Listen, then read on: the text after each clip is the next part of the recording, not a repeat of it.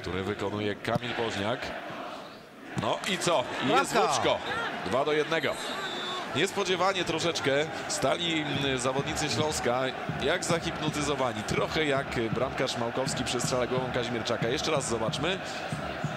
Tak. Piłka trafiła w głowę Mariusza Pawelca, no a potem nikt nie przypilnował Łuczki. Pawelec zaliczył asystę.